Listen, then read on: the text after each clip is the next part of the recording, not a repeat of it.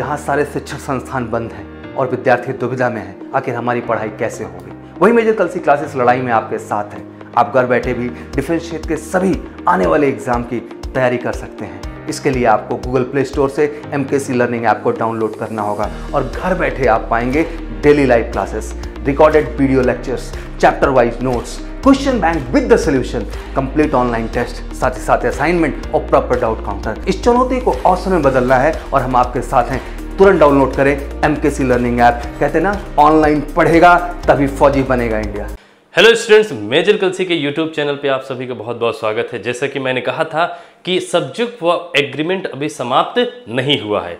इसी वजह से मैं नेक्स्ट पार्ट लेके आया हूँ और जिसमें आज भी बहुत ही बेहतरीन कॉन्सेप्ट के बारे में जानेंगे। और आज के कॉन्सेप्ट की में जो भी बातें होंगी, उसमें कहीं ना कहीं प्रीवियस ईयर में क्वेश्चंस पूछे गए हैं। तो उन कुछ क्वेश्चंस को भी लेक्चर के अंत में हम सॉल्व करेंगे, जो आज के ही कॉन्सेप्ट पे बेस्ड होंगे। तो चलिए, बिना समय को वेस्ट करते हुए शुरू करते हैं। अगर आप देखिए, पहला जो कॉन्सेप्ट है, वो मेनी आ और मेनी एन से रिलेटेड है। तो अक्सर आप जब देखते हो मेनी तो मेनी शब्द देखते ही आपके दिमाग में ख्याल आता है कि एक से ज़्यादा की बात हो रही है। लेकिन जैसे ही आप आर्टिकल ए या फिर आर्टिकल एन देख लेते हैं तो आपके दिमाग में कंफ्यूजन होता है कि इसके बाद नाउन किस तरह का होना चाहिए। और अगर आप नाउन आपने यूज़ कर लिया तो इसके साथ वर्ब कैसी होनी चाहिए? तो ये सबसे बड़ी बात बन जाती है और अक्सर कहीं ना कहीं इससे रिलेटेड कंफ्यूजन भी हमारे दिमाग में आ जाती है। तो अगर आप बात करें मेनी आ या मेनी एन की तो जी हाँ इसका मतलब भी होता है कई, एक से ज़्यादा का ही भाव प्रकट करता है, लेकिन यहाँ पे इंडेफिनिट आर्टिकल यूज़ कर दिया है। तो इंडेफिनिट आर्टिकल यूज़ करने के नाते इसके साथ जो भी नाउन आएगा, वो हमेशा सिंगुलर में होना चाहिए। और हमेशा याद रखिएगा नाउन हमेशा काउंटेबल होगी। ऐसे नाउन जिसको हम काउंट कर सकें। यानी इनके साथ काउंटेबल नाउन आएगा और सिंगुलर काउंटेबल नाउन होना चाहिए। अब अगर नाउन सिंगुलर में आ गया तो इसका मतलब है इसके साथ वर्ब भी सिंगुलर में होना चाहिए। तो एक से ज़्यादा का तो भाव प्रकट करेगा, लेकिन नाउन और वर्ब दोनों सिंगुलर में आएगी। जैसे अगर हम देखते हैं एग्ज़ाम्पल के माध्यम से, मैंने कहा many a student has supported this bill ठीक, ये आप देख सकते हैं। तो यहाँ पे हमने मेनी लगाया। मेनी के बाद हमने आर्टिकल ए यूज़ किया। फिर उसके बाद स्टूडेंट लगा दिया। अब आपको पता है आर्टिकल ए और एन तो अगर वॉवल से अगर मान लीजिए इसके बाद प्रयोग होने वाला कोई शब्द है, उसका उच्चारण करते हो तो वॉवल से होता है। तो हम आर्टिकल एन का यूज़ करेंगे। और अगर कॉन्सोनेंट से होता है तो ए से ए के, यानी आर्टिकल ए का यूज़ किया जाएगा। स्टूडेंट है मतलब यहाँ पे कॉन्सोनेंट की बात हो रही है तो कॉन्सोनेंट की कंडीशन में हम ए यूज़ करेंगे। जैसे मैंने कहा many an ink pot has been has been stolen ये आप देख सकते हैं। तो मैंने लिखा है many an ink pot has been stolen यहाँ पे मेनी के बाद आर्टिकल एन आया है। क्यों? क्योंकि इसके बाद इंकपॉट आया है और इंकपॉट का जब आप प्रोनाउंसिएशन करते हो, उच्चारण करते हो तो इसका प्रोनाउंसिएशन करने पर वॉवेल का ध्वनि निकलती है। वॉवेल का, की तरह स्वर निकलता है। सब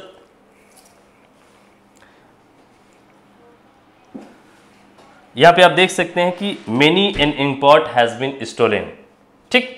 तो many an inkpot has been stolen है तो इसके बाद यहाँ आप देख सकते हैं आर्टिकल एन आया है, उसका रीजन है कि इंकपॉट है तो इसका वॉबल से उच्चारण हो रहा है, इसीलिए आर्टिकल एन आया है। तो नाउन भी सिंगुलर में और इसके साथ वर्ब भी सिंगुलर में प्रयोग की जा रही है। तो आई थिंक ये कॉन्सेप्ट आपको समझ में आया होगा। चलिए नेक्स्ट कॉन्सेप्ट की बात करते हैं। नेक्स्ट कॉन्सेप्ट है वो somebody everybody nobody anybody everyone someone no one anyone से रिलेटेड है। तो पहले इनके बारे में कुछ जान लेते हैं। ये जो माने जाते हैं, वो इंडेफिनिट प्रोनाउन के पार्ट माने जाते हैं। मतलब आप जानते हो समथिंग नथिंग एनीथिंग ये सब भी होते हैं। तो somebody nobody anybody someone no one ये इंडेफिनिट प्रोनाउन माने जाते हैं। अब इन्हें इंडेफिनिट क्यों बोलते हैं? इंडेफिनिट का मतलब है अनिश्चित का मतलब। यानी अनिश्चित व्यक्ति या वस्तु को जो भी प्रदर्शित करते हैं प्रोनाउन उनको हम इंडेफिनिट प्रोनाउन मानते हैं। अगर मैंने कहा नो बडी इससे कोई डेफिनेट पर्सन के बारे में पता नहीं चल रहा है। मैंने कहा एनी बडी मतलब कोई भी व्यक्ति की बात हो रही है। तो मतलब इनसे किसी निश्चित व्यक्ति या वस्तु के बारे में पता नहीं चलता है तो इन्हीं को हम इंडेफिनिट प्रोनाउन के नाम से जानते हैं। अब इनके बारे में हम कुछ और चीज़ें भी जानेंगे। तो सबसे पहले अगर हम ये बात करें कि इनके साथ वर्ब कैसे आती है। तो इंडेफिनिट प्रोनाउन को ब्रिटिश इंग्लिश ग्रामर में सिंगुलर माना जाता है।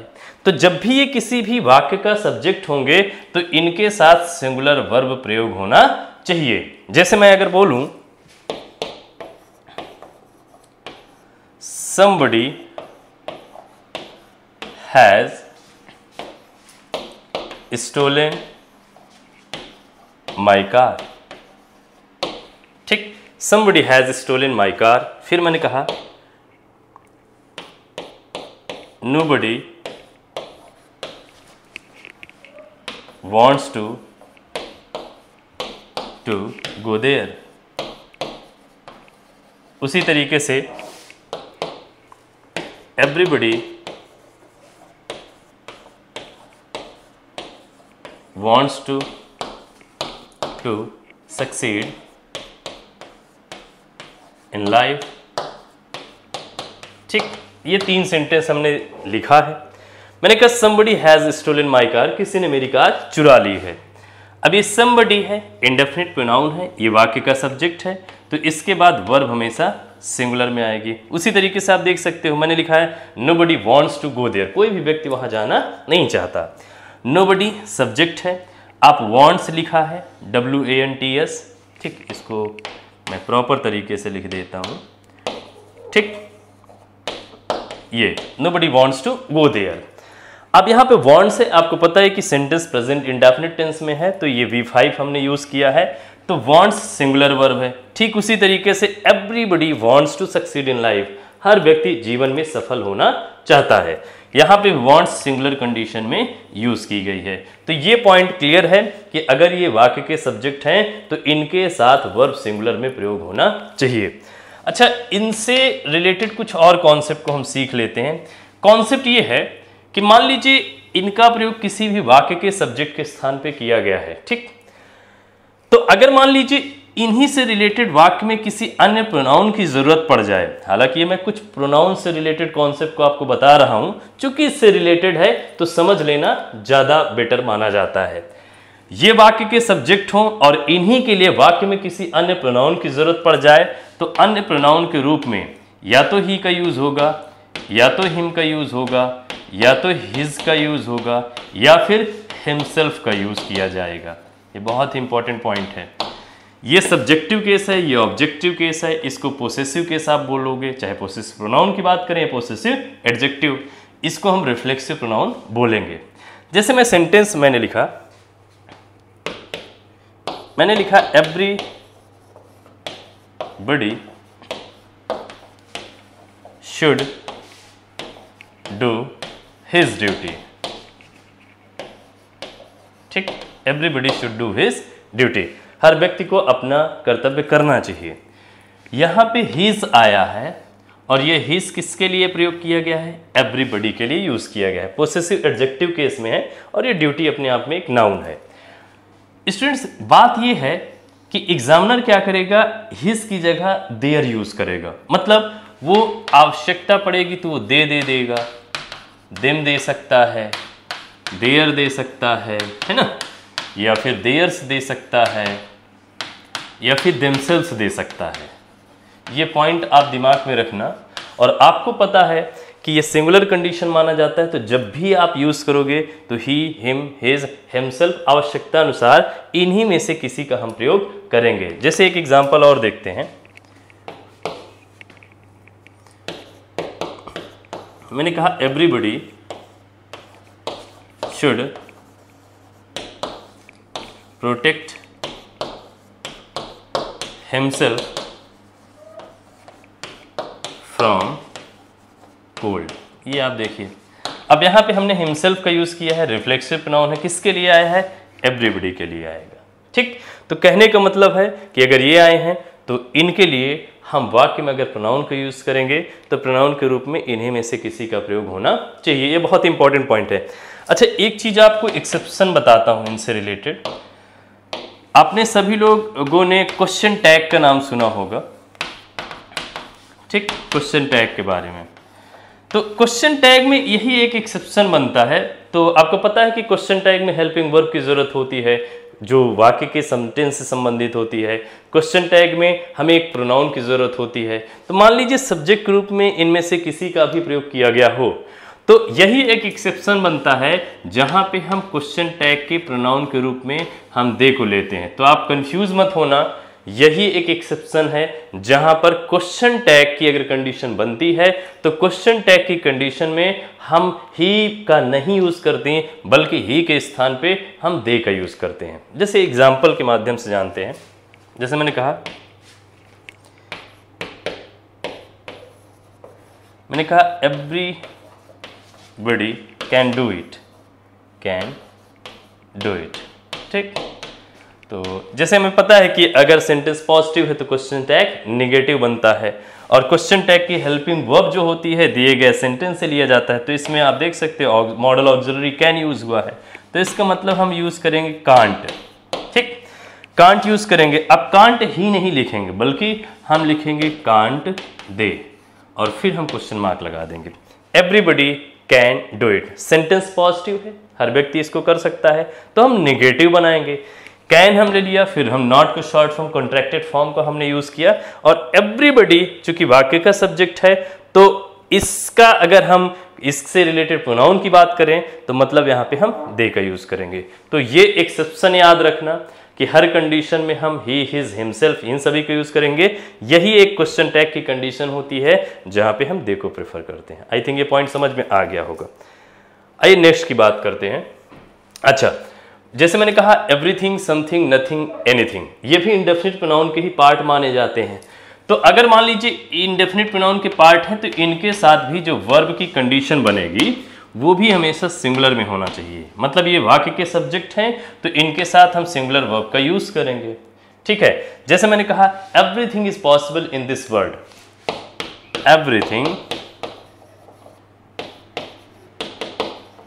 is possible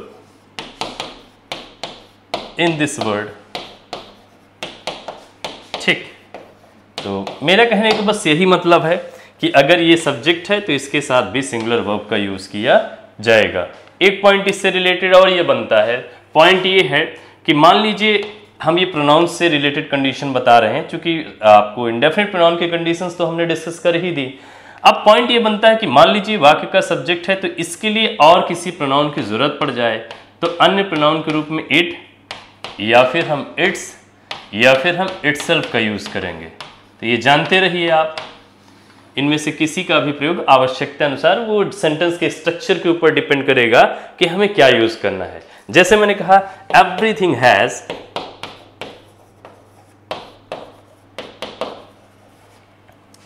has its own importance ठीक? ये आप देख सकते हो। मैंने कहा everything has its own importance अब ये इट्स आया है। ठीक? ये किसके लिए आया है? एवरीथिंग के लिए। ये पोसेसिव एडजेक्टिव है एक्चुअल में, ठीक?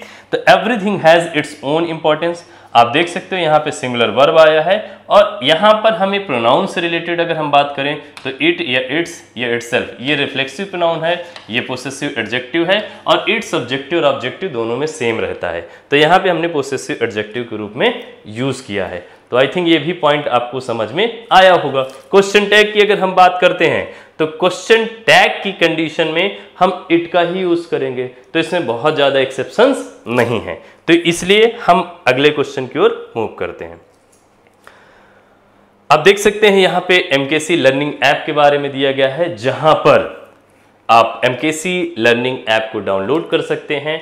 और इसका एडवांटेज ले सकते हैं, क्योंकि आपको पता है कि अगर हम ऑफलाइन में अभी सक्षम नहीं हैं मतलब समय अभी ऑफलाइन का नहीं चल रहा है तो ऑनलाइन ही एक ऐसा मीडियम बनता है जहाँ पे हम स्टडी को अपने कंटिन्यू कर सकते हैं। इसलिए उसमें सबसे बेहतर प्लेटफॉर्म को चुनना ये सबसे बड़ी चुनौती बनती है। तो आपको पता है कि एम एक ऐसा संस्थान है जहाँ पर सबसे ज़्यादा, देश में सबसे ज़्यादा सिलेक्शन दिए हैं डिफेंस के फ़ील्ड में। तो आप इसको डाउनलोड करिए और अपने सपनों को साकार करिए। स्टडी नहीं रुकना चाहिए, इसका यही पर्पज है। तो चलिए, आगे मूव करते हैं नेक्स्ट क्वेश्चन की ओर। यानी नेक्स्ट रूल की बात करते हैं। नेक्स्ट जो अगला रूल है अपना, वो neither nor either or not only but also से रिलेटेड है। ठीक? स्टूडेंट्स अक्सर इसी से रिलेटेड भी क्वेश्चंस कई बार पूछे गए हैं। अभी हम लोग कुछ क्वेश्चंस भी सॉल्व करेंगे, फ़िलहाल।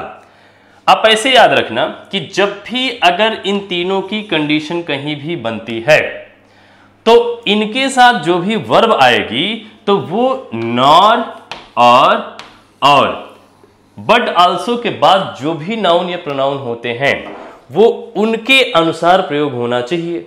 जैसे अगर मैं लिखूं मैंने कहा either Ravi or his friends have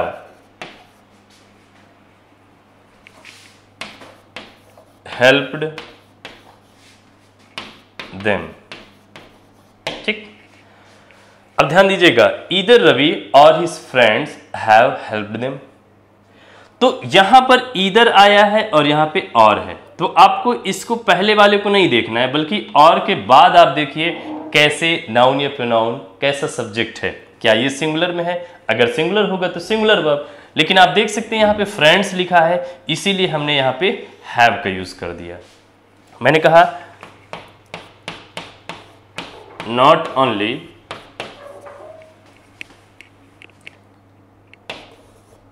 Ramesh but also Suresh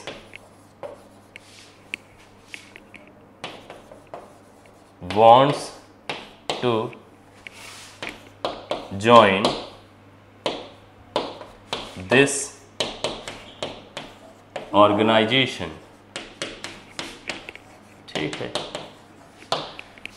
अब देखो यहाँ पे not only Ramesh but also Suresh wants to join this organisation ना केवल रमेश बल्कि सुरेश भी इस संस्थान को या इस ऑर्गेनाइजेशन को ज्वाइन करना चाहता है यहाँ पे बट आल्सो आया है बट आल्सो के बाद सुरेश क्या है सिंगुलर कंडीशन में है तो यहाँ पे भी हमने सिंगुलर वर्ब का यूज़ कर दिया इधर और का मतलब इधर यहाँ नीद इधर और का मतलब होता है दोनों, या मतलब दोनों में से कोई एक के अर्थ में हम इधर का यूज़ करते हैं तो कहते हैं ना, या तो रवि, या तो सुरेश, या तो मोहन, या तो महेश। उसी तरीके से आप नीदर नॉर की जब बात करते हो तो आप कहते हो, ना ही तुम, ना ही तुम्हारा भाई, ना ही तुम, ना ही तुम्हारे पिता। तो उस सेंस में हम यूज़ करते हैं। नॉट ओनली बट ऑल्सो की अगर हम बात करते हैं तो आप कहते हैं, ना केवल बल्कि के सेंस में यूज़ करते हैं। तो मेरा कहने का मतलब यही था कि अगर इन तीनों का यूज़ किया गया है तो जो वर्ब की कंडीशन बनेगी, वो इनके बाद यूज़ होने वाले नाउन या प्रोनाउन के अनुसार होना चाहिए। तो ये पॉइंट आई थिंक समझ में आ गया होगा। चलिए अगले क्वेश्चन की ओर मूव करते हैं, यानी अगले रूल की ओर। अगला रूल है देयर से रिलेटेड तो देखो जब भी अगर हम देयर की बात करते हैं तो देयर को हम नकली सब्जेक्ट बोलते हैं, डमी सब्जेक्ट आप बोल सकते हो, या फिर एक तरीके से बोल सकते हो इंट्रोडक्टरी आप सब्जेक्ट के रूप में बोल सकते हो। मतलब जब भी आप देयर से सेंटेंस की शुरुआत करते हो, या मान लीजिए, आप सब्जेक्ट के रूप में देयर का आपने यूज़ कर दिया तो देयर के साथ जो भी वर्ब आती है, जैसे मान लीजिए इसके साथ जो वर्ब आई है तो इसके साथ जो वर्ब आई है, वो इसके साथ प्रयोग होने वाले नाउन या प्रोनाउन के अनुसार होना चाहिए। ये कब? एक हम असर्टिव सेंटेंस के स्ट्रक्चर की हम बात कर रहे हैं। अगर मान लीजिए इंटरगेटिव हुआ तो यही जो वर्ब है, इसके पहले चली जाएगी। तो कंक्लूजन ये निकला कि इसको एक डमी और नकली सब्जेक्ट कंसीडर किया जाता है। तो इसके साथ जो भी वर्ब आएगी, वो इनके, यानी नाउन या प्रोनाउन के अनुसार आना चाहिए। तो इसका तर्क क्या निकला? तर्क ये है कि अगर ये प्रयोग होने वाला नाउन या प्रोनाउन सिंगुलर में है तो मतलब ये वर्ब जो होगी सिंगुलर में आएगी। अगर ये प्लूरल में होंगे तो हम प्लूरल वर्ब का यूज़ करेंगे। इसीलिए आप बोलते हो, आपने कहा there is nothing for me आपने क्या बोला? There is nothing for me there is nothing for me उसी तरीके से मैंने कहा there are two books on the table ठीक?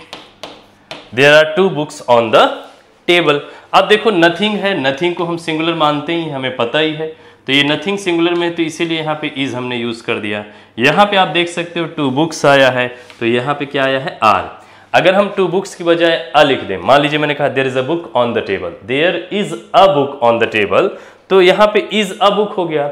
यहाँ पे इज़ आया क्योंकि अ बुक की बात कर रहे हैं। तो कंक्लूजन क्या निकला? कंक्लूजन यही निकल रहा है कि ये देयर एक इंट्रोडक्टरी सब्जेक्ट माना जाता है डमी सब्जेक्ट होता है।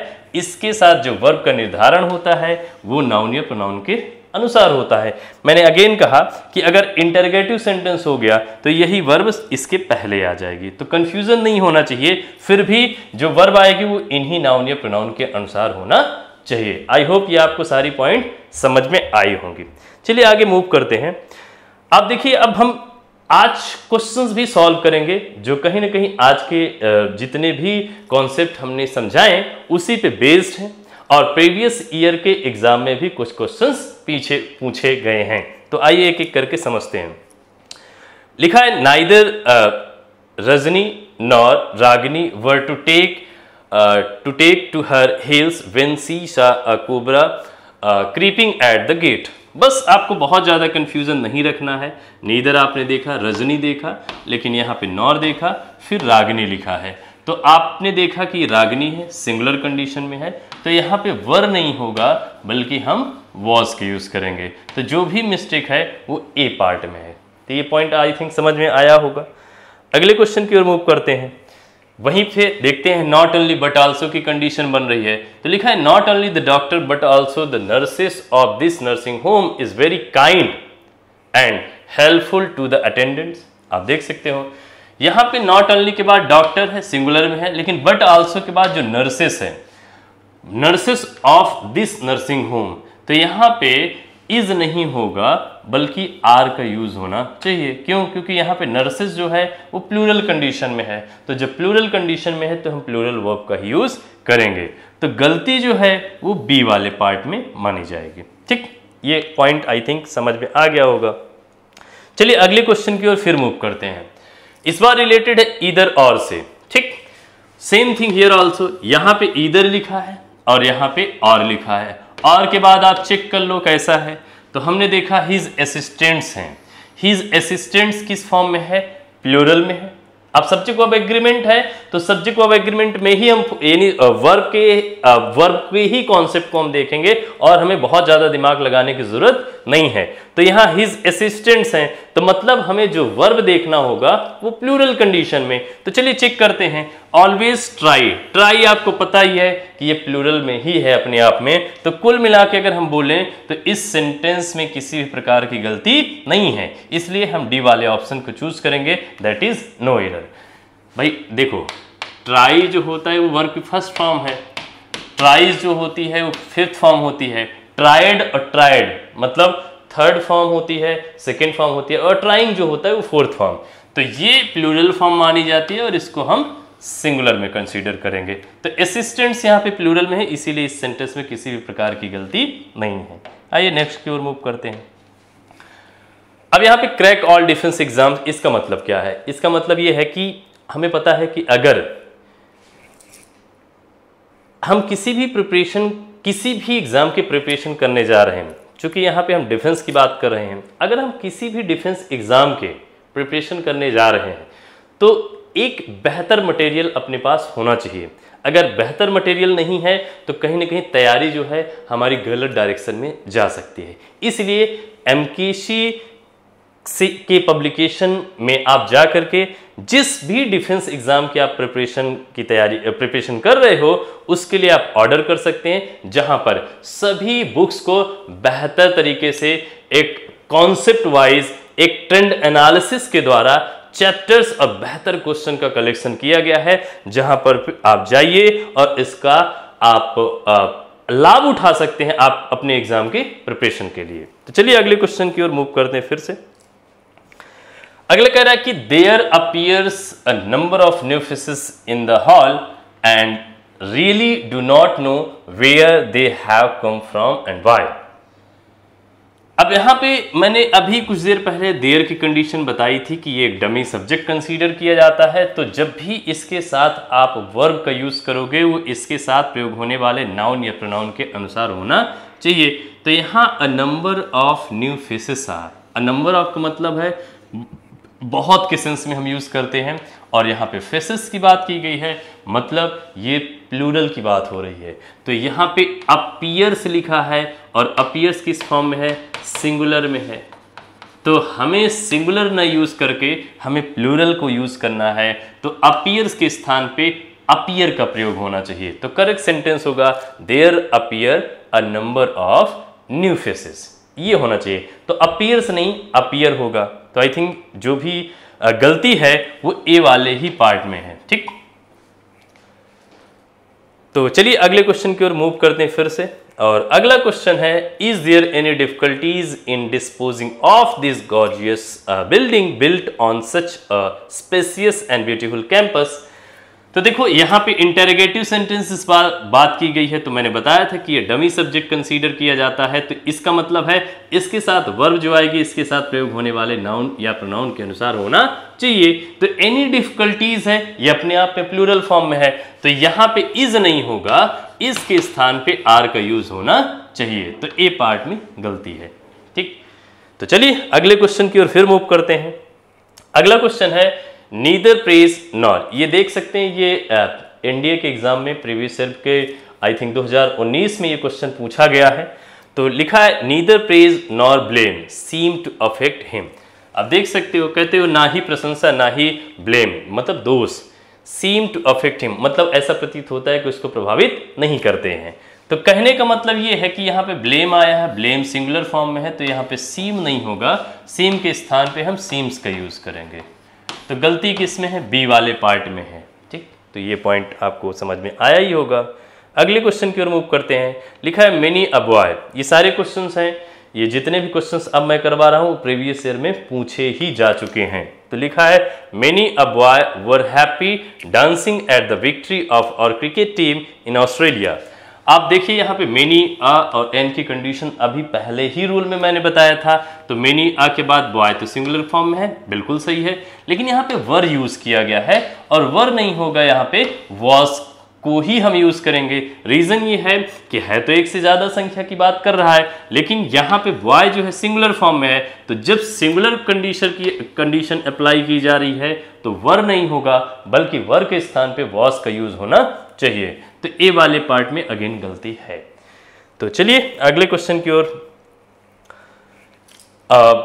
एमकेसी टेस्ट पेपर देखो यहाँ पे पब्लिक की, आप बिल्कुल ये दिमाग में नहीं आना चाहिए कि एडवर्टाइजमेंट किया जा रहा है, बल्कि यहाँ पे इंफॉर्मेशन दिया जा रहा है। क्योंकि भले ही अभी लॉकडाउन की सिचुएशन है, लेकिन इसके बाद एग्ज़ाम तो होना ही है।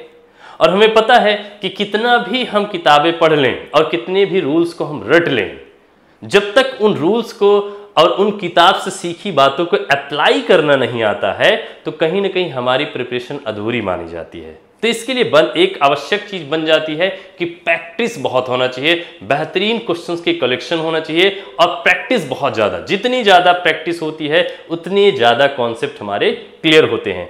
तो आप एमकेसी टेस्ट प्रेप ऐप को जाइए, डाउनलोड करिए, जहाँ पे सबसे ज़्यादा हम यहाँ पे पॉइंट आउट करूँगा, जहाँ पे आपको 5000 से भी ज़्यादा आपको क्वेश्चंस मिलेंगे जो इजी मीडियम हार्ड मतलब सभी लेवल के होंगे और उसके साथ साथ फाइव मॉक टेस्ट होंगे। और इतना करने के बाद आप कहीं ना कहीं अपने आप को अंदर से बहुत ज़्यादा कॉन्फिडेंट फील करेंगे कि हाँ अब जो भी एग्ज़ाम में हम अपियर होने जा रहे हैं उसको बेहतरीन तरीके से हम बीट कर सकते हैं। तो ये आपके लिए बहुत इंपॉर्टेंट बन जाता है।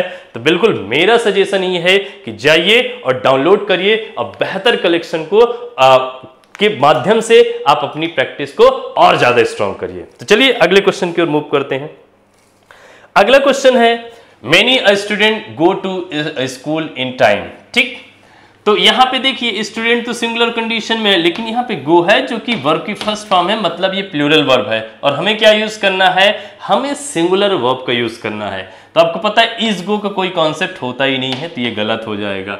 इंप्रूवमेंट की ज़रूरत है तो नो इंप्रूवमेंट वाला ऑप्शन होगा ही नहीं। गोइंग हो नहीं सकता, क्योंकि बेसिक सी बात है प्रेजेंट कॉन्टिन्यूस टेंस की अगर हम बात करें, या किसी भी कॉन्टिन्यूस टेंस की बात करते हैं तो वर्ब उसके साथ ज़रूर आना चाहिए। तो इसमें जो भी करेक्ट ऑप्शन होगा, वो गोज होगा। Many a student goes to school in time तो आज के लिए इतना ही। आई होप कि आपको सारी बातें समझ में आई होंगी। लेकिन अगेन अभी सब्जेक्ट ऑफ़ एग्रीमेंट पूरा समाप्त नहीं हुआ है।